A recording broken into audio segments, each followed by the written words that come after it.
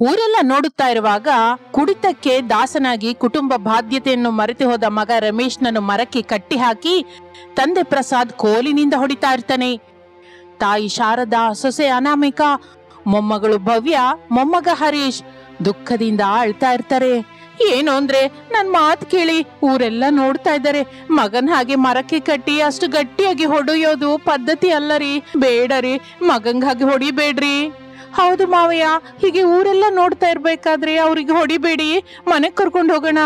ಬೇಕು ಅಂದ್ರೆ ಮನೆ ಹತ್ರ ಬೈರಿ, ಹೊಡೀರಿ. ಇಲ್ಲಿ ಮಾತ್ರ ಬೇಡ ಮಾವಯ್ಯ. ಎಂದು ಶಾರದಾ ಅನಾಮಿಕ ಬೇಡಿಕೊಳ್ಳುತ್ತಾ ಇದ್ದರೂ ಪ್ರಸಾದ್ ಕೋಪವನ್ನು ಕಡಿಮೆ ಮಾಡದೆ ಆವೇಶದಿಂದ ಊಗುತ್ತಾ ಕೋಲಿನಿಂದ ಮತ್ತಷ್ಟು ಗಟ್ಟಿಯಾಗಿ ಹೊಡಿತಾ ಇರ್ತಾನೆ.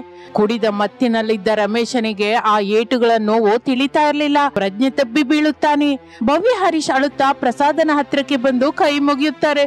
ಬೇಡ ತಾತಯ್ಯ, ಅಪ್ಪನ ಹೊಡಿಬೇಡಿ. ನಮ್ಮ ಮುಖನ ನೋಡಿ ಅಪ್ಪನ ಬಿಟ್ಬಿಡಿ. ಹೌದು ತಾತಯ್ಯ ತಂಗಿ ಹೇಳಿದ ಹಾಗೆ ನಮ್ಮ ಮುಖನ ನೋಡಿ ಅಪ್ಪನ ಬಿಟ್ಬಿಡಿ. ಇನ್ನು ಗಟ್ಟಿಯಾಗಿ ಹೊಡೆದ್ರೆ ಅಪ್ಪ ಸತ್ತು ಹೋಗ್ತಾರೆ. ಹೊಡಿಬೇಡಿ ತಾತಯ್ಯ. ಅಪ್ಪನ ಇನ್ನೂ ಗಟ್ಟಿಯಾಗಿ ಹೊಡಿಬೇಡಿ ಎಂದು ಬೇಡಿಕೊಳ್ಳುತ್ತಾ ಇರುತ್ತಾರೆ. ಪ್ರಸಾದ್ ಹೊಡೆಯುವುದನ್ನು ನಿಲ್ಲಿಸಿ ಕೋಪದಿಂದ ಮಕ್ಕಳನ್ನು ನೋಡುತ್ತಾ, ಏಯ್ ಮಕ್ಕಳೇ, ನಾನು ನಿಜಕ್ಕೆ ಕೋಪದಲ್ಲಿದ್ದೀನಿ. ನನಗೆ ಅಡ್ಡಕ್ಕೆ ಬರಬೇಡಿ, ಹೋಗಿ. ಹೋಗಿ ನಿಮ್ಮ ಅಜ್ಜಿ ಅಮ್ಮನ ಹತ್ರ ನಿಂತ್ಕೊಳ್ಳಿ. ಇಲ್ಲ ಅಂದ್ರೆ ಏಟು ನಿಮ್ಗೂ ಕೂಡ ಬೀಳುತ್ತೆ. ನೀನು ನಮ್ಗ್ ಹೊಡೆದ್ರು ಬೈದ್ರು ನಿನ್ನ ಅಪ್ಪನ್ಗೆ ಮಾತ್ರ ಹೊಡೆಯೋದಕ್ ಬಿಡಲ್ಲ ತಾತಯ್ಯ. ಹೌದು ತಾತಯ್ಯ ನಿನ್ನ ಮಾತ್ರ ಅಪ್ಪನ ಹೊಡೆಯೋದಕ್ ಬಿಡೋದಿಲ್ಲ. ಎಂದು ಮಕ್ಕಳು ಅನ್ನುತ್ತಾ ಇರುವಾಗ ಶಾರದಾ ಅನಾಮಿಕರು ಪ್ರಸಾದನ ಹತ್ರಕ್ಕೆ ಬರ್ತಾರೆ. ಮಕ್ಕಳ ಮುಖವನ್ನಾದ್ರೂ ನೋಡಿ ಮಗನ ಹೊಡೆಯೋದು ನಿಲ್ಲಿಸ್ರಿ. ಹೌದು ಮಾವಯ್ಯ, ಮಕ್ಕಳ ಬಗ್ಗೆ ಆದ್ರೂ ಅವ್ರಿಗೆ ಹೊಡಿಬೇಡಿ. ಹೀಗೆ ಇವರನ್ನ ಕಾಪಾಡ್ಕೋತೀರಾ ಅಂತ ಎಷ್ಟು ಕಾಲ ಅಂತ ನನ್ನ ರಟ್ಟೆ ಬಿಗ್ದು ಕೆಲಸ ಮಾಡ್ತಾ ನಿಮ್ಮನ್ ಕಾಪಾಡ್ಬೇಕು? ದಿನ ಕಳೆಯುತ್ತಿದ್ದ ಹಾಗೆ ನನಗೆ ವಯಸ್ಸು ಕಡಿಮೆ ಆಗ್ತಾ ಇಲ್ಲ ಶಾರದಾ. ನೆನ್ನೆ ಕೂಲಿ ಕೆಲಸದ ಹತ್ರ ಕೈಗಳು ಬಿದ್ದೋದ್ವು.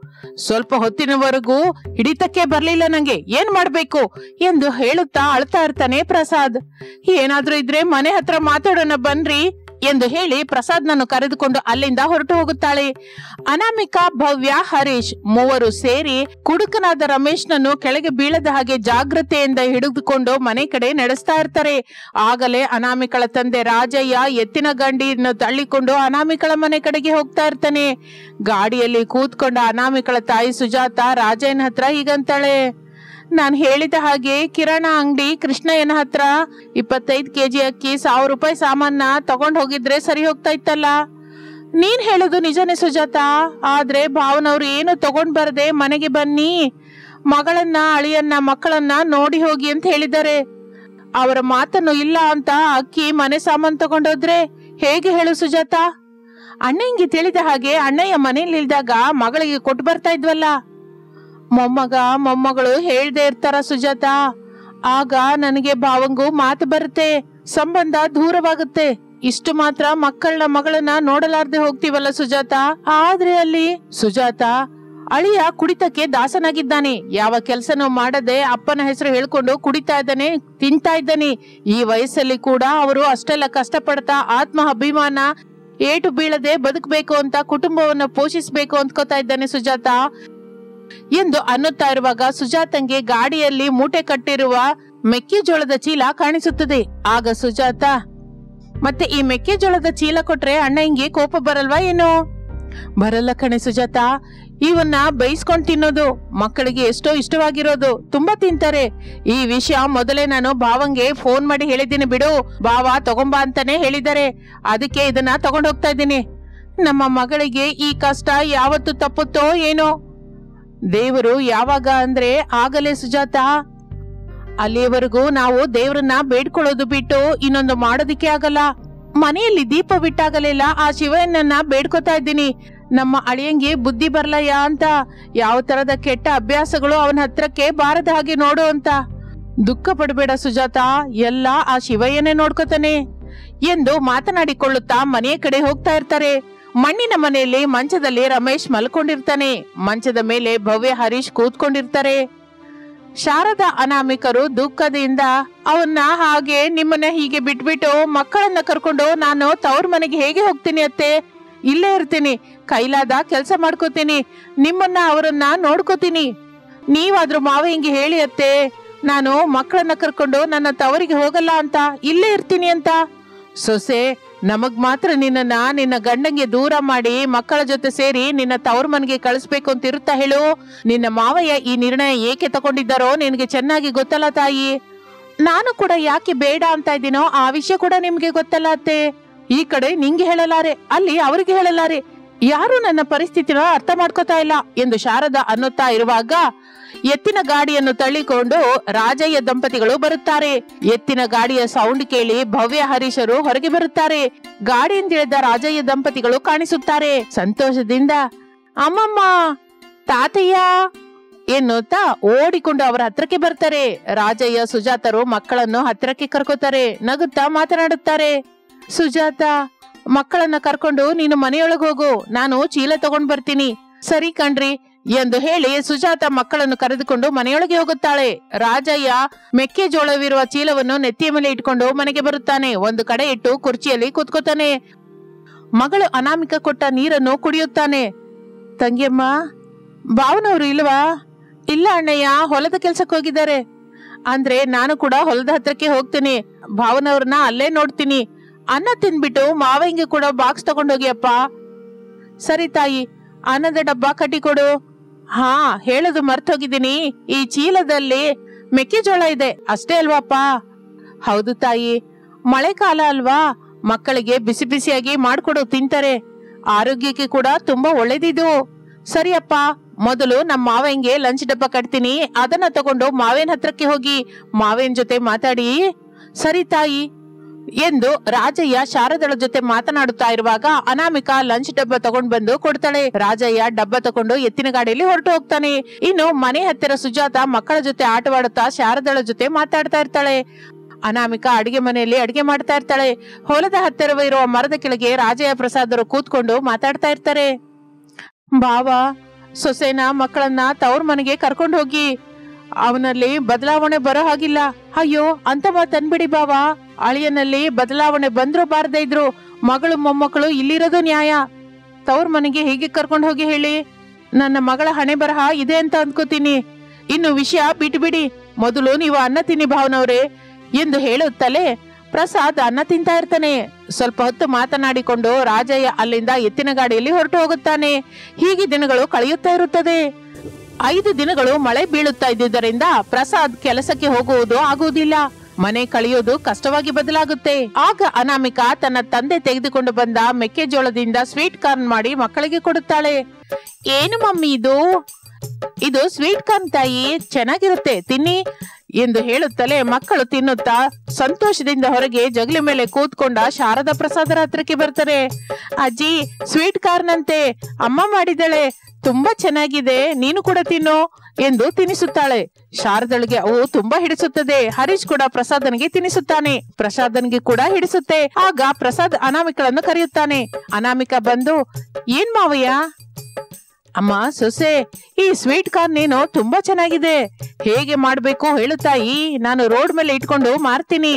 ಮಳೆಯಲ್ಲಿ ಈ ಬಿಸಿ ಬಿಸಿ ಸ್ವೀಟ್ ಕಾರ್ನ್ ಅಂದ್ರೆ ತುಂಬಾ ಜನ ತಿಂತಾರೆ. ನಮಗ್ ಕೂಡ ನಾಲ್ಕು ದುಡ್ಡು ಬರುತ್ತೆ ಎಂದು ಹೇಳುತ್ತಲೇ ಅನಾಮಿಕಳಿಗೆ ಒಂದು ಒಳ್ಳೆ ಆಲೋಚನೆ ಬರುತ್ತೆ. ನಿಮ್ಮ ಆಲೋಚನೆ ಚೆನ್ನಾಗಿದೆ ಮಾವಯ್ಯ. ಆದ್ರೆ ನೀವು ಒಬ್ಬರೇ ಬೇಡ, ನಾನು ಕೂಡ ಬರ್ತೀನಿ. ಮಳೆಯಲ್ಲಿ ಸ್ವೀಟ್ ಕಾರ್ನ್ ಮಾರೋಣ. ನಾನು ಅವನ್ನ ತಯಾರು ಮಾಡಿ ಬೇಕಾದವ್ರಿಗೆ ಕೊಡ್ತಾ ಇರ್ತೀನಿ. ನೀವು ಅವ್ರ ಹತ್ರ ದುಡ್ಡು ತಗೊಳ್ಳಿ ಮಾವಯ್ಯ. ಸರಿ ಸೊಸೆ, ಎಂದು ಹೇಳಿ ಹರೀಶ್ ತಿನ್ನಿಸುತ್ತಾ ಇದ್ದರೆ ಸ್ವೀಟ್ ಕಾರ್ನ್ ಅನ್ನು ಪ್ರಸಾದ್ ತಿಂತಾ ಇರ್ತಾನೆ. ಮಾರನೇ ದಿನ ಮಳೆ ಬೀಳುತ್ತಾ ಇರುವಾಗ ಒಂದು ಮರದ ಕೆಳಗೆ ತಳ್ಳುಗಾಡಿಯ ಮೇಲೆ ಕವರ್ ಕಟ್ಟಿಕೊಂಡು ಅನಾಮಿಕ ಬಿಸಿ ಬಿಸಿ ಸ್ವೀಟ್ ಕಾರ್ನ್ ತಯಾರು ಮಾಡುತ್ತಾ ಇರುವಾಗ ಅವುಗಳ ಸುವಾಸನೆಗೆ ತಿನ್ನಬೇಕು ಅನ್ನುವ ಕೋರಿಕೆಯಿಂದ ಬಹಳ ಜನ ಮಳೆಯಲ್ಲಿ ಸ್ವೀಟ್ ಕಾರ್ನ್ ತಿನ್ನೋದಕ್ಕೆ ಬರ್ತಾ ಇರ್ತಾರೆ. ಪ್ರಸಾದ್ ಅವರ ಹತ್ರ ದುಡ್ಡು ತಗೋತಾ ಇರ್ತಾನೆ. ಸ್ವೀಟ್ ಕಾರ್ನ್ ಕೇಳಿದವರಿಗೆ ಅನಾಮಿಕ ಮಾಡಿ ಕೊಡ್ತಾ ಇರ್ತಾಳೆ. ಹಾಗೆ ಅನಾಮಿಕ ಮಳೆಯಲ್ಲಿ ಸ್ವೀಟ್ ಕಾರ್ನ್ ಮಾರುತ್ತಾ ಕುಟುಂಬವನ್ನು ಪೋಷಿಸಿಕೊಳ್ಳುತ್ತಾ ಇರುತ್ತಾಳೆ. ಒಂದು ದಿನ ಅನಾಮಿಕ, ಮಾವಯ್ಯ, ಕುಡಿತ ಬಿಡಿಸಲಿಕ್ಕೆ ಹಸಿರು ಮಂದು ಹಾಕ್ತಾರೆ ಅಂತ ಪಾರ್ವತಿ ಚಿಕ್ಕಮ್ಮ ಹೇಳಿದ್ದಾರೆ. ಅಲ್ಲಿಗೆ ಅವರನ್ನ ಕರ್ಕೊಂಡು ಹೋಗೋಣ ಮಾವಯ್ಯ. ಯಾಕಮ್ಮ, ದುಡ್ಡು ದಂಡ ಹೊರತು ಫಲಿತವೇನೂ ಇರಲ್ಲಮ್ಮ. ಆದ್ರೂ ಪ್ರಯತ್ನ ಮಾಡೋಣ ಅಂದ್ರೆ ನಿನ್ನ ಮಾತನ್ನ ನಾನು ಏನಕ್ಕಿಲ್ಲ ಅಂತೀನಿ ತಾಯಿ. ಹಾಗೆ ಬಿಡು. ಎಂದು ಆ ದಿನದಿಂದ ರಮೇಶನ ಕೈಯಲ್ಲಿ ಕುಡಿತ ಬಿಡಿಸಬೇಕು ಎಂದು ಎಷ್ಟೋ ಪ್ರಯತ್ನ ಮಾಡ್ತಾ ಇರ್ತಾಳೆ ಅನಾಮಿಕಾ. ಅನಾಮಿಕ ಮಾಡುವ ಪ್ರಯತ್ನಗಳು ಫಲಿಸಬೇಕು ಎಂದು ರಮೇಶ್ ಬದಲಾಗಿ ಅನಾಮಿಕಳನ್ನು ಅನಾಮಿಕಳ ಕುಟುಂಬವನ್ನು ಚೆನ್ನಾಗಿ ನೋಡಿಕೊಳ್ಳಬೇಕು ಎಂದು ನಾವು ಕೂಡ ಕೋರಿಕೊಳ್ಳೋಣ. ಇದು ಇಂದಿನ ಕತೆ. ಮತ್ತೊಂದು ಆಸಕ್ತಿಕರವಾದ ಕತೆ ಜೊತೆ ಮತ್ತೆ ಸೇರೋಣ. ಅಲ್ಲಿಯವರೆಗೂ ವಿರಾಮ. ನಮಸ್ತೆ. ಸಿಟಿಯಲ್ಲಿರುವ ಅನಾಮಿಕ ರಮೇಶರು ಸಾಫ್ಟ್ವೇರ್ ಜಾಬ್ ಮಾಡ್ತಾ ಇರ್ತಾರೆ. ಅದರಿಂದ ಇಬ್ಬರಿಗೂ ಮಕ್ಕಳು ಹರೀಶ್ ಭವ್ಯರನ್ನು ನೋಡುವುದಕ್ಕೆ ಸಮಯವಾಗುತ್ತಿರಲಿಲ್ಲ. ಇಬ್ಬರು ಲ್ಯಾಪ್ಟಾಪ್ ಅಲ್ಲಿ ವರ್ಕ್ ಮಾಡ್ತಾ ಇರ್ತಾರೆ. ಒಂದು ದಿನ ಸಾಯಂಕಾಲ ಐದು ಆಗುತ್ತಾ ಇರುವಾಗ ಸ್ಕೂಲ್ನಿಂದ ಮಕ್ಕಳು ಹರೀಶ್ ಭವ್ಯರನ್ನು ಕರೆದುಕೊಂಡು teacher Hemalatha one zero six flat ಮುಂದೆ ಬರುತ್ತಾಳೆ. ಮಕ್ಕಳೇ, ಇದೇನಾ ನಿಮ್ಮನೆ? ಹೌದು ಮೇಡಮ್ ಎಂದು ಹೇಳುತ್ತಲೇ ಹೇಮಲತಾ ಟೀಚರ್ ಕಾಲಿಂಗ್ ಬೆಲ್ ಒತ್ತುತ್ತಾಳೆ. ಮನೆಯಲ್ಲಿ ಅನಾಮಿಕ ರಮೇಶರು ಲ್ಯಾಪ್ಟಾಪ್ಸ್ ಅಲ್ಲಿ ಕೆಲಸ ಮಾಡ್ತಾ ಇರ್ತಾರೆ. ಹೇಮಲತಾ ಟೀಚರ್ ಮತ್ತೆ ಕಾಲಿಂಗ್ ಬೆಲ್ ಒತ್ತಿ, ಭವ್ಯ ಮನೇಲಿ ನಿಮ್ಮ ಮಮ್ಮಿ, ಡ್ಯಾಡಿ ಇಲ್ವಾ? ಇದ್ದಾರೆ ಮೇಡಮ್ ಸೆಲ್ಲರ್ ಅಲ್ಲಿ ಎರಡು ಕಾರುಗಳು ಪಾರ್ಕಿಂಗ್ ಮಾಡಿದೆ. ಮಮ್ಮಿ, ಡ್ಯಾಡಿ ಮನೆಯಲ್ಲೇ ಇರ್ತಾರೆ. ನೀವು ಮತ್ತೆ ಕಾಲಿಂಗ್ ಬೆಲ್ ಒತ್ತಿ. ಸರಿ ಭವ್ಯ, ಎಂದು ಹೇಳಿ ಹೇಮಲತಾ ಕಾಲಿಂಗ್ ಬೆಲ್ ಒತ್ತುತ್ತಾಳೆ. ಮನೆಯಲ್ಲಿ ವರ್ಕ್ ಮಾಡ್ಕೋತಾ ಇರುವ ಅನಾಮಿಕ, ರಾಮ್ ಕಾಲಿಂಗ್ ಬೆಲ್ ಮೊಳಗ್ತಾ ಇದೆ. ಕೇಳಿಸ್ತಾ ಇಲ್ವಾ? ನಿಂಗೆ ಕೇಳಿಸ್ತಾ ಇದೆಯಲ್ಲ? ಹೋಗಿ ಡೋರ್ ತೆಗಿಯೋನು. ನಾನು ವರ್ಕ್ ಬಿಸಿನಲ್ಲಿದ್ದೀನಿ ನಾನ್ ಮಾತ್ರ ಲ್ಯಾಪ್ಟಾಪ್ ಅಲ್ಲಿ ಚೆಸ್ ಆಡ್ತಾ ಇದ್ದೀನಿ ಅನ್ಕೊಂಡಿದ್ಯಾ?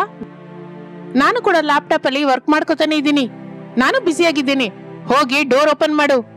ನಾನು ಎಲ್ಲಿಂದ ಹೋಗೋದಕ್ಕಿಂತ ನೀನ್ ಹೋಗಿ ಡೋರ್ ತೆಗಿಯೋದು ಈಸಿ ರಾಮ್. ಹೋಗಿ ತೆಗೆ. ಮತ್ತೆ ಕಾಲಿಂಗ್ ಬೆಲ್ ಮೊಳಗ್ತಾ ಇದೆ.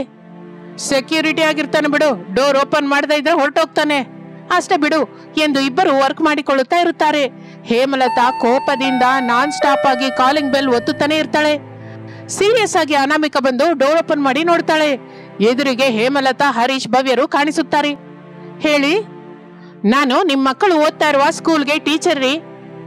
ಒಳಗಡೆ ಬನ್ನಿ ಎಂದು ಹೇಳಿ ಅನಾಮಿಕಾ ಮನೆಯೊಳಗೆ ಕರೆದುಕೊಂಡು ಹೋಗುತ್ತಾಳೆ. ಹೇಮಲತಾ, ಹರೀಶ್, ಭವ್ಯರು ಒಳಗಡೆಗೆ ಬರುತ್ತಾರೆ. ರಾಮ್, ಮಕ್ಕಳ ಸ್ಕೂಲ್ ಟೀಚರ್ ಬಂದಿದ್ದಾರೆ. ಮಾತಾಡು, ನಾನು ವರ್ಕ್ ಮಾಡ್ತಾ ಇರ್ತೀನಿ. ಅನು ನಾನು ವರ್ಕ್ ಮಾಡ್ತಾ ಇದ್ದೀನಲ್ಲ, ನೀನೇ ಮಾತಾಡು. ರಾಮ್, ನಾನು ಹೋಗಿ ಡೋರ್ ಓಪನ್ ಮಾಡಿದ್ದೀನಲ್ಲ, ನೀನ್ ಹೋಗಿ ಮಾತಾಡು. ಇಬ್ಬರಿಗೂ ಇಬ್ಬರು ಸರಿಯಾಗಿದ್ದೀರಾ? ಅದಕ್ಕೆ ಮಕ್ಕಳು ಸ್ಕೂಲ್ಗೆ ಸರಿಯಾಗಿ ರೆಡಿಯಾಗಿ ಬರ್ತಾ ಇಲ್ಲ. ಹರಿ ಶರ್ಟ್ ಬಟನ್ ಹಾಕೋತಾ ಇಲ್ಲ. ಭವ್ಯ ಜುಟ್ಟು ಸರಿಯಾಗಿ ಹಾಕೋತಾ ಇಲ್ಲ. ಹೇಗಂದ್ರೆ ಹಾಗೆ ಮಕ್ಕಳು ಸ್ಕೂಲ್ಗೆ ಬರ್ತಾ ಇದ್ದಾರೆ. ಹೀಗೆ ಯಾಕೆ ಮಾಡ್ತಾ ಇದ್ದೀರಾ? ನಮ್ಮ ಪ್ರಿನ್ಸಿಪಾಲ್ ತಿಳ್ಕೊಂಡ್ ಬಾ ಅಂತ ನನ್ನನ್ನ ಕಳ್ಸಿದ್ದಾರೆ. ಪೇರೆಂಟ್ಸ್ ಹೀಗೆ ಇದ್ರೆ? ಮಕ್ಕಳು ಹೀಗಿರೋದು ತಪ್ಪಿಲ್ವಲ್ಲ?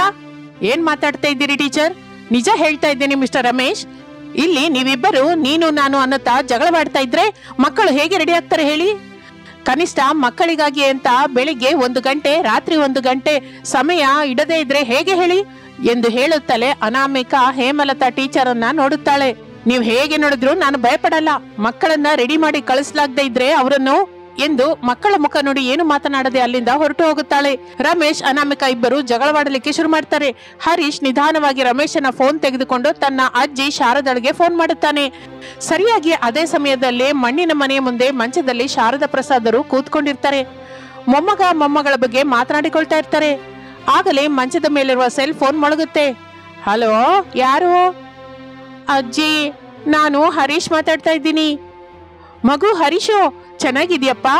ತಂಗಿ ಹೇಗಿದ್ದಾಳೆ? ಅಜ್ಜಿ, ನೀನು ತಾತಯ್ಯ ಇಲ್ಲಿಗೆ ಬಂದು ನನ್ನನ್ನ ತಂಗಿನ ನಿಮ್ ಜೊತೆ ಕರ್ಕೊಂಡು ಹೋಗಿ ನಾವು ಇಲ್ಲಿ ಇರೋಕ್ಕಾಗಲ್ಲ ಮಮ್ಮಿ, ಡ್ಯಾಡಿ ಯಾವಾಗ ನೋಡಿದ್ರು ಜಗಳವಾಡ್ತಾನೆ, ವರ್ಕ್ ಮಾಡ್ಕೋತಾ ಇರ್ತಾರೆ. ನಮ್ಮನ್ನ ನೋಡ್ಕೊಳ್ಳೋದೇ ಇಲ್ಲ. ಬೇಕು ಅಂದ್ರೆ ಕೇಳು ಅಜ್ಜಿ. ಎಂದು ಹೇಳಿ ಫೋನನ್ನು ಜಗಳವಾಡುತ್ತಿರುವ ಅನಾಮಿಕ ರಮೇಶರ ಕಡೆ ತಿರುಗಿಸಿ ಇಟ್ಕೋತಾನೆ ಅನಾಮಿಕ ರಮೇಶರ ಮಾತುಗಳು ಜಗಳ ಮಾಡುತ್ತಾ ಇರುವುದು ಶಾರದಾ ಪ್ರಸಾದರು ಕೇಳುತ್ತಾರೆ. ಶಾರದಾ, ಭಯಪಡಬೇಡ ಅಂತ ಮಕ್ಕಳಿಗೆ ಹೇಳು. ನಾಳೆ ನಾವು ಹೋಗಿ ಮಕ್ಕಳನ್ನ ಕರ್ಕೊಂಬರೋಣ. ಭಯಪಡಬೇಡಿ ಮಕ್ಕಳೇ. ನಾನು ನಿಮ್ ತಾತ ನಾಳೆ ಬಂದು ನಿಮ್ಮನ್ನ ಇಲ್ಲಿಗೆ ಕರ್ಕೊಂಡ್ ಬಂದ್ಬಿಡ್ತೀನಿ ಎಂದು ಹೇಳಿ ಶಾರದಾ ಫೋನ್ ಇಡುತ್ತಾಳೆ. ನಾನು ಎಷ್ಟು ಹೇಳಿದ್ರು ಕೇಳೋದಿಲ್ಲ. ಸಿಟಿಯಲ್ಲಿ ಇಬ್ರು ಜಾಬ್ ಮಾಡ್ಕೊಳ್ತಾ ಮಕ್ಕಳನ್ನ ಸರಿಯಾಗಿ ನೋಡ್ಕೊಳ್ಳಾರ್ದೆ ಹೋಗ್ತಾ ಇದ್ದಾರೆ. ಇಲ್ಲಿ ಇರಿ ಅಂತ ಹೇಳ್ದೆ. ಸಿಟಿ ಸೊಸೆ ಕೇಳಲಿಲ್ಲ. ಅಲ್ಲಿ ಮಕ್ಕಳು ಎಷ್ಟು ಕಷ್ಟಪಡ್ತಾ ಇದ್ದಾರೋ ಏನೋ. ಹೌದು ರೀ. ಆದ್ರೆ ನಾವು ಈಗಿಂದೀಗ ಸಿಟಿಗೆ ಹೋಗಲಾರೆವಲ್ಲ ಎಂದು ಮಾತನಾಡಿಕೊಳ್ಳುತ್ತಾ ದುಃಖದಿಂದ ಮಂಚದಲ್ಲಿ ಮಲ್ಕೋತಾರೆ. ಮಾರನೇ ದಿನ ಹರೀಶ್ ಭವ್ಯರು ಸ್ಕೂಲ್ ಯೂನಿಫಾರ್ಮ್ಸ್ ಹಾಕಿಕೊಳ್ಳದೆ ಟೇಬಲ್ ಮೇಲಿರುವ ಅಲಾರಂ ವಾಚನ್ನ ನೋಡ್ತಾ ಇರ್ತಾರೆ. ಸಮಯ ಏಳುವರೆ ದಾಟುತ್ತೆ. ಅಣ್ಣಯ್ಯ, ಸ್ಕೂಲ್ಗೆ ಟೈಮ್ ಆಗಿ ಹೋಗ್ತಾ ಇದೆಯಲ್ಲ, ಈಗ ನಮ್ಮನ್ನ ಯಾರು ರೆಡಿ ಮಾಡ್ತಾರೆ? ಇನ್ಯಾರು ತಂಗಿ, ನಿನಗೆ ಮಮ್ಮಿ, ನನಗೆ ಡ್ಯಾಡಿ, ಬಾ. ಈ ದಿನ ಮಮ್ಮಿ ಯಾವ ಮೂಡಲ್ಲಿದ್ದಾಳೋ ಏನೋ? ನೋಡೋಣ ಬಾ ತಂಗಿ, ನಮಗೆ ದಿನವೂ ಈ ಜಗಳ ಇರೋದೇ ಅಲ್ವಾ? ಅಣ್ಣಯ್ಯ, ಅಜ್ಜಿ, ತಾತಯ್ಯ ಅವರು ಬರ್ತೀನಿ ಅಂತ ಹೇಳಿದ್ದಾರಲ್ಲ, ಇನ್ನೂ ಬರ್ಲಿಲ್ಲ. ಎಂದು ಹರೀಶ್ ಭವ್ಯ ಮಾತನಾಡಿಕೊಳ್ಳುತ್ತಾ ಇರುವಾಗ ಶಾರದಾ ಪ್ರಸಾದರು ಮನೆಯೊಳಗೆ ಬರುತ್ತಾರೆ. ಅನಾಮಿಕ ರಮೇಶರು ಶಾರದಾ ಪ್ರಸಾದರನ್ನ ನೋಡಿ ಕೂಡ ಮಾತನಾಡದೆ ವರ್ಕ್ ಮಾಡ್ಕೋತಾ ಇರ್ತಾರೆ. ಆಗ ಅವರಿಗೆ ಮಕ್ಕಳ ಪರಿಸ್ಥಿತಿ ಏನೋ ಅರ್ಥವಾಗುತ್ತೆ. ಹರೀಶು, ಭವ್ಯ, ಎಲ್ಲಿದ್ದೀರಪ್ಪ? ನಾನು ನಿಮ್ ತಾತಯ್ಯ ಬಂದಿದೀವಿ ಬನ್ನಿ ಎಂದು ಹೇಳುತ್ತಲೇ ಬೆಡ್ರೂಮ್ ಅಲ್ಲಿರುವ ಹರೀಶ್ ಭವ್ಯರು ಸಂತೋಷ ಪಡುತ್ತಾ ಓಡಿಕೊಂಡು ಅವರ ಹತ್ರಕ್ಕೆ ಬರ್ತಾರೆ. ಶಾರದಾ ಪ್ರಸಾದ್ ಆನಂದದಿಂದ ಮಕ್ಕಳಿಬ್ಬರನ್ನು ಎತ್ತಿಕೊಳ್ಳುತ್ತಾರೆ. ಮಗು ರಮೇಶ್, ಓ ಸಿಟಿ ಸೊಸೆ ನಿಮಗೆ ಮಕ್ಕಳಿಗಿಂತ ಆಫೀಸ್ ವರ್ಕ್ ಮುಖ್ಯವಾಗಿದೆ ಅಂತ ನಮಗೆ ಅರ್ಥವಾಗಿದೆ. ಅದಕ್ಕೆ ಮಕ್ಕಳನ್ನ ನಾವು ಕರ್ಕೊಂಡು ಹೋಗ್ತಾ ಇದೀವಿ ಇನ್ ಮೇಲೆ ನೀವು ನಿಮ್ಮ ಕೆಲಸನ ಸಂತೋಷವಾಗಿ ಮಾಡ್ಕೊಳ್ಳಿ. ಬನ್ನಿ ಮಕ್ಕಳೇ. ಹೌದು ಮಗನೇ, ನಾನು ನಿಮ್ಮಮ್ಮ ಬಂದರು ಮಾತನಾಡದ ಪರಿಸ್ಥಿತಿನಲ್ಲಿ ನೀವಿದ್ದೀರಾ ಅಂದ್ರೆ, ಇನ್ನು ನಾನು ನಿಮ್ಮನ್ನ ಏನು ಅನ್ನೋದಕ್ಕಾಗ್ತಾ ಇಲ್ಲ. ನಾವು ಹೋಗ್ತಾ ಇದ್ದೀವಿ ಎಂದು ಹೇಳಿ ಶಾರದಾ ಪ್ರಸಾದರು ಮಕ್ಕಳನ್ನು ಕರೆದುಕೊಂಡು ಹೊರಟು ಹೋಗುತ್ತಾರೆ. ಅನಾಮಿಕ ರಮೇಶರು ಅಷ್ಟಾಗಿ ಹಚ್ಚಿಕೊಳ್ಳದೆ ವರ್ಕ್ ಮಾಡ್ಕೋತಾನೆ ಇರ್ತಾರೆ. ಮಕ್ಕಳನ್ನು ಕರೆದುಕೊಂಡು ಶಾರದಾ ದಂಪತಿಗಳು ಊರಿಗೆ ಬರುತ್ತಾರೆ. ಮನೆಯ ಮುಂದಿರುವ ಮರಕ್ಕೆ ಉಯ್ಯಾಲೆಯನ್ನು ಕಟ್ಟುತ್ತಾರೆ. ಹರೀಶ್ ಭವ್ಯರು ಆಡಿಕೊಳ್ಳುತ್ತಾ ಇರ್ತಾರೆ. ಶಾರದಾ ಇಬ್ಬರಿಗೂ ಅನ್ನ ತಿನ್ನಿಸುತ್ತಾ ಇರ್ತಾಳೆ. ಮಕ್ಕಳು ಕೂಡ ಎಷ್ಟೋ ಸಂತೋಷ ಪಡುತ್ತಾ ಅನ್ನ ತಿಂತಾ ಇರ್ತಾರೆ. ಅಜ್ಜಿ, ನಾವು ಇನ್ಮೇಲೆ ಮಮ್ಮಿ ಹತ್ರನೇ ಹೋಗಲ್ಲ, ಇಲ್ಲೇ ಇದ್ದು ಬಿಡ್ತೀವಿ. ಹೌದು ತಾತಯ್ಯ, ನಾವು ನಿಮ್ಮ ಹತ್ರನೇ ಇರ್ತೀವಿ, ಇಲ್ಲೇ ಓದ್ಕೋತೀವಿ. ಸರಿ ಮಕ್ಕಳೇ, ನಾನು ನಾಳೆ ಸ್ಕೂಲ್ ಹತ್ರ ಹೋಗಿ ಮಾತಾಡ್ಕೊಂಡು ಬರ್ತೀನಿ ಎಂದು ಪ್ರಸಾದ್ ಹೇಳುತ್ತಲೇ ಮಕ್ಕಳು ಕಿಲಕಿಲ ನಗುತ್ತಾ ಇರುತ್ತಾರೆ. ಅಯ್ಯೋ ತಾತಯ್ಯ ಸ್ಕೂಲ್ ಮಾಸ್ಟರ್ ಅಲ್ಲ ಸ್ಕೂಲ್ ಪ್ರಿನ್ಸಿಪಾಲ್ ಅಂತ ಅನ್ಬೇಕು. ನಾನು ಕೂಡ ಅದೇ ಅಂದನೆ ತಾಯಿ. ಇಂದು ಮಕ್ಕಳ ಜೊತೆ ಶಾರದಾ ಪ್ರಸಾದ್ ದಂಪತಿಗಳು ಬಹಳ ಸಂತೋಷದಿಂದ ಕಳೆಯುತ್ತಾ ಇರುತ್ತಾರೆ. ಒಂದು ದಿನ ಮಕ್ಕಳನ್ನು ಕರೆದುಕೊಂಡು ಒಂದು ಪ್ರೈವೇಟ್ ಸ್ಕೂಲ್ಗೆ ಹೋಗಿ ಅಲ್ಲಿ ಪ್ರಿನ್ಸಿಪಾಲ್ ಜೊತೆ ಮಾತನಾಡಿ ಹರೀಶ್ ಭವ್ಯರನ್ನು ಆ ಸ್ಕೂಲಿನಲ್ಲಿ ಸೇರಿಸುತ್ತಾರೆ. ಆ ದಿನ ಶಾರದಾ ಮಕ್ಕಳಿಗಾಗಿ ತನಗೆ ಬಂದ ಹಿಡಿಸಿದ ಅಡುಗೆಗಳನ್ನ ಮಾಡಿ ಇಡುತ್ತಾಳೆ. ಲಂಚ್ ಬಾಕ್ಸ್ ಅನ್ನು ಕಟ್ಟುತ್ತಾಳೆ. ಅವನ್ನ ಮಕ್ಕಳು ಕೂಡ ಸ್ಕೂಲಲ್ಲಿ ಎಷ್ಟು ಹ್ಯಾಪಿಯಾಗಿ ತಿನ್ನುತ್ತಾ ಇರುತ್ತಾರೆ. ಒಂದು ದಿನ ಅನಾಮಿಕಾ ತಲೆನೋವಿನಿಂದ ಮಲಗಿರುತ್ತಾಳೆ. ರಮೇಶ್ ಪಕ್ಕದಲ್ಲಿ ಕೂತ್ಕೊಂಡು ವರ್ಕ್ ಮಾಡ್ಕೋತಾ ಇರ್ತಾನೆ. ಆದರೆ ಅನಾಮಿಕಳನ್ನು ಹಚ್ಚಿಕೊಳ್ಳಲಿಲ್ಲ ರಮೇಶ್. ಆಗ ಅನಾಮಿಕಳಿಗೆ ತಿಂಗಳ ಹಿಂದೆ ನಡೆದಿದ್ದು ನೆನಪಿಗೆ ಬರುತ್ತೆ. ಅನಾಮಿಕಾ ಮಲಗಿಕೊಂಡಿದ್ದರೆ ಭವ್ಯ ಜಂಡು ಬಾಂಬ್ ಹಿಡಿದುಕೊಂಡು ಅನಾಮಿಕಳ ಹತ್ತಿರ ಬರುತ್ತಾಳೆ. ಮಮ್ಮಿ, ಈ ಬಾಂಬ್ ಹಚ್ಲಾ, ತಲೆನೋವು ಕಡಿಮೆಯಾಗಿ ಹೋಗುತ್ತೆ ಎಂದು ಭವ್ಯ ಮುದ್ದಾಗಿ ಹೇಳಿದ ಮಾತುಗಳು ನೆನಪಿಗೆ ಬಂದಿದ್ದರಿಂದ ಅನಾಮಿಕಾ ತಕ್ಷಣ ಎದ್ದು ಕೂತ್ಕೋತಾಳೆ. ಆಗ ಕೂಡ ರಮೇಶ್ ಅನಾಮಿಕಳನ್ನು ಹಚ್ಚಿಕೊಳ್ಳಲಿಲ್ಲ. ಅದರಿಂದ ಅನಾಮಿಕಳಿಗೆ ಎಲ್ಲಿಲ್ಲದ ಕೋಪ ಬರುತ್ತೆ. ನಾನು ಇಲ್ಲೇ ಇದ್ದೀನಿ. ನನ್ನನ್ನು ನೀವು ಹಚ್ಕೋತಾನೆ ಇಲ್ಲ. ನಾನು ಎಲ್ಲಿದ್ದರೂ ಖಾಲಿಯಾಗಿಲ್ಲ ವರ್ಕ್ ಮಾಡ್ತಾ ಇದ್ದೀನಿ. ನಿನಗೂ ಕಾಣಿಸ್ತಾ ಇದೆ ಅಲ್ವಾ? ಮತ್ತೆ ಹೊಸದಾಗಿ ಕೇಳ್ತಿದೀಯಾಕೆ ಆದ್ರೂ ನಿನ್ಗೇನಾಗಿಲ್ವಲ್ಲ ಅನಾಮಿಕಾ? ನಾನು ಜಾಬ್ ಬಿಡೋಣ ಅಂದ್ಕೋತಾ ಇದ್ದೀನಿ. ಬಿಟ್ಬಿಡು. ಬಿಟ್ಬಿಡು, ಮಕ್ಕಳನ್ನ ನೋಡ್ಕೋ. ಮಕ್ಕಳು ಮನೆಯಲ್ಲಿಲ್ದೆ ಎಷ್ಟು ಖಾಲಿಯಾಗಿದೆ ನೋಡು. ಮನೆಯಲ್ಲಿ ಕರೆಂಟ್ ಇಲ್ಲ. ಮನೆಯಲ್ಲಿ ಮಕ್ಕಳು ಇಲ್ಲ. ನೀನು ಮನೆಯಲ್ಲಿದ್ರು ಆಫೀಸಲ್ಲಿದ್ರು ಒಂದೇ. ಕಾಫಿ ಕೇಳಿದ್ರು ವರ್ಕ್ ಅಂತ್ಯಾ? ಫುಡ್ ಅಂದ್ರೆ ವರ್ಕ್ ಅಂತ್ಯಾ? ಏನ್ ಹೇಳಿದ್ರು ವರ್ಕ್ ಇದ್ದೀನಿ ಅಂತ್ಯ? ಅದೇ ಮಕ್ಕಳಿದ್ದಾಗ ಅವರೇ ನಮಗೆ ತಿನ್ನಿಸ್ತಾ ಇದ್ರು. ಹೌದು ರಾಮ್, ನಮ್ಮ ಮನಸ್ಸು ಕೂಡ ಮಕ್ಕಳನ್ನ ನೋಡ್ಬೇಕು ಅಂತ ಇದೆ. ಬನ್ನಿ, ಅತ್ತೆಯವರ ಮನೆಗೆ ಹೋಗಿ ಕರ್ಕೊಂಬರೋಣ. ಎಂದು ಅನಾಮಿಕ ರಮೇಶ್ ಇಬ್ಬರು ಕಾರಿನಲ್ಲಿ ಹೊರಟು ಶಾರದಾ ಅವರ ಮನೆಗೆ ಬರುತ್ತಾರೆ. ಆಗ ಶಾರದಾ ಮಕ್ಕಳಿಗೆ ಹೊರಗೆ ಸ್ನಾನ ಮಾಡಿಸ್ತಾ ಇರ್ತಾಳೆ. ಮಕ್ಕಳನ್ನು ನೋಡಿ ಅನಾಮಿಕ ಸಂತೋಷ ಪಡುತ್ತಾ, ಬೇಬಿ, ನಾನ್ ಬಂದ್ಬಿಟ್ಟೆ. ಅಂದ್ರೆ ಈಗ ಏನ್ ಮಾಡ್ಬೇಕು ಅಂತೀಯ ಮಮ್ಮಿ? ಹಸು ಎಮ್ಮೆಗಳ ಜೊತೆ ಸ್ವಾಗತ ಹಾಡ್ಬೇಕು ಇನ್ನು ಮೊಮ್ಮಗಳೇ. ಚೆನ್ನಾಗಿದ್ದೀರಾ ಅತ್ತೆ? ನಾವು ಹೇಗಿದ್ರೆ ಏನು ಬಿಡು ಸೊಸೆ? ನೀವು ಈಗ ಏನಕ್ಕೆ ಬಂದಿದ್ದೀರಾ ಅದು ಹೇಳಿ. ನಿಮ್ ಜೊತೆ ಮಾವೇನ ಜೊತೆ ಮಾತಾಡಿ ಮಕ್ಕಳನ್ನ ಕರ್ಕೊಂಡು ಹೋಗೋಣ ಅಂತ ಬಂದ್ವಿ. ನಾವು ಸಿಟಿಗೆ ಬರಲ್ಲ ಮಮ್ಮಿ, ಇಲ್ಲಿ ಅಜ್ಜಿಯವರ ಮನೆ ಹತ್ರನೇ ಇರ್ತೀವಿ. ಇಲ್ಲೇ ಓದ್ಕೋತೀವಿ. ಹೌದು ಮಮ್ಮಿ, ನಾವು ಸಿಟಿಗೆ ಬರೋದಿಲ್ಲ. ಎಂದು ಹೇಳುತ್ತಾ ಇರುವಾಗ ಪ್ರಸಾದ್ ರಮೇಶರು ಜೊತೆಗೆ ಬರುತ್ತಾರೆ. ಸಾರಿ ಬೇಬಿ, ಸಾರಿ ಮಗು ಬನ್ನಿ, ನಾವು ನಮ್ಮ ಮನೆಗೆ ಹೋಗೋಣ. ಇನ್ನು ಮೇಲಿಂದ ನಾವು ನಿಮ್ಮನ್ನ ಚೆನ್ನಾಗಿ ನೋಡ್ಕೋತೀವಿ. ಅಜ್ಜಿ ಹೇಳಿದ್ರೆ ನಾವು ಕೇಳ್ತೀವಿ ಎಂದು ಹೇಳುತ್ತಲೇ ಎಲ್ಲರೂ ಮನೆಯೊಳಗೆ ಹೋಗುತ್ತಾರೆ. ಆ ದಿನ ಎಲ್ಲರೂ ತಮಾಷೆಯಾಗಿ ಕೂತ್ಕೊಂಡು ಸಂತೋಷದಿಂದ ಊಟ ಮಾಡುತ್ತಾರೆ, ಎಷ್ಟೋ ಮಾತುಗಳನ್ನ ಆಡುತ್ತಾರೆ. ಸಿಟಿಯಲ್ಲಿದ್ರು, ಹಳ್ಳಿನಲ್ಲಿದ್ರು ಮಕ್ಕಳಿಗೆ ಅಮ್ಮನ ಪ್ರೇಮನ ಹಂಚಬೇಕು. ಆಗಲೇ ಮಕ್ಕಳು ಕೂಡ ಸಂತೋಷವಾಗಿರ್ತಾರೆ. ನನ್ನನ್ನು ಕ್ಷಮಿಸಿ ಬಿಡಿಯತ್ತೆ ಎಂದು ಹೇಳಿ ಅನಾಮಿಕಾ ತುಂಬಾ ಆಲೋಚನೆ ಮಾಡಿ ಮಕ್ಕಳನ್ನು ಕರೆದುಕೊಂಡು ಸಿಟಿಗೆ ಬರುತ್ತಾಳೆ. ಮಕ್ಕಳ ಒಳಿತಿಗಾಗಿ ಕೆಲಸ ಬಿಡುತ್ತಾಳೆ ಅನಾಮಿಕಾ. ಮಕ್ಕಳನ್ನು ಚೆನ್ನಾಗಿ ನೋಡಿಕೊಳ್ಳಲಿಕ್ಕೆ ಶುರು ಮಾಡುತ್ತಾಳೆ. ಇದಕ್ಕೂ ಮೊದಲಿನ ಹಾಗೆ ವರ್ಕ್ ಬ್ಯುಸಿಯಲ್ಲಿದ್ದು ಮಕ್ಕಳನ್ನು ಹಚ್ಚಿಕೊಳ್ಳದೆ ಇರುವುದು ತಾನು ಎಷ್ಟು ದೊಡ್ಡ ತಪ್ಪು ಮಾಡಿದ್ದೇನೋ ಎಂದು ತಿಳಿದುಕೊಂಡು ಪಶ್ಚಾತ್ತಾಪದಿಂದ ಇನ್ನು ಮೇಲಿನಿಂದ ಹಾಗೆ ಮಕ್ಕಳನ್ನು ಹಚ್ಚಿಕೊಳ್ಳದೆ ಇರಬಾರದು ಎಂದು ಮಕ್ಕಳಿಬ್ಬರ ಭವಿಷ್ಯತ್ತಿಗಾಗಿ ತಾನು ಎಷ್ಟೋ ಇಷ್ಟಪಡುವ ಉದ್ಯೋಗವನ್ನು ಕೂಡ ಬಿಟ್ಟು ತಾನು ಈಗ ಮಕ್ಕಳನ್ನು ಜಾಗ್ರತೆಯಾಗಿ ನೋಡಿಕೊಳ್ಳುವುದಕ್ಕೆ ಶುರು ಮಾಡುತ್ತಾಳೆ. ಇನ್ನು ಆಗಿನಿಂದ ಮಕ್ಕಳು ಸಂತೋಷದಿಂದ ಸ್ಕೂಲ್ಗೆ ಹೋಗಿ ಪ್ರತಿಯೊಬ್ಬ ಅಂಶವನ್ನು ಚೆನ್ನಾಗಿ ಕಲಿತುಕೊಳ್ಳುತ್ತಾರೆ. ಮಕ್ಕಳ ಅಭಿವೃದ್ಧಿಯನ್ನು ನೋಡಿ ಅನಾಮಿಕ ರಮೇಶರನ್ನು ನೋಡಿ ಶಾರದಾ ಪ್ರಸಾದರು ಕೂಡ ಆನಂದಿಸುತ್ತಾರೆ. ಇದು ಇಂದಿನ ಕತೆ, ಮತ್ತೊಂದು ಆಸಕ್ತಿಕರವಾದ ಕತೆ ಜೊತೆ ಮತ್ತೆ ಸೇರೋಣ. ಅಲ್ಲಿಯವರೆಗೂ ವಿರಾಮ. ನಮಸ್ತೆ.